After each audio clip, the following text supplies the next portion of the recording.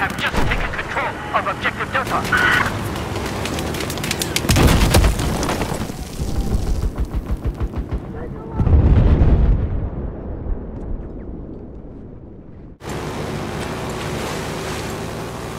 Oh!